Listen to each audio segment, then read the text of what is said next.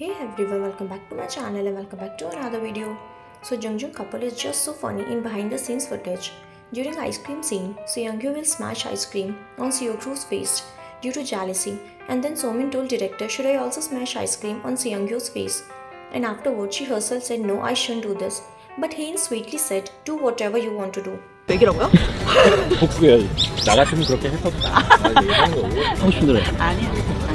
Haein's caring nature towards women is really sweet.